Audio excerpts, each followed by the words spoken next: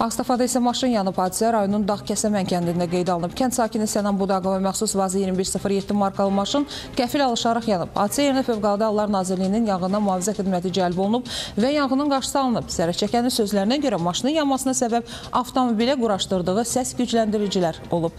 Xoşbəxtlikdən xəsarət alan olmayıb.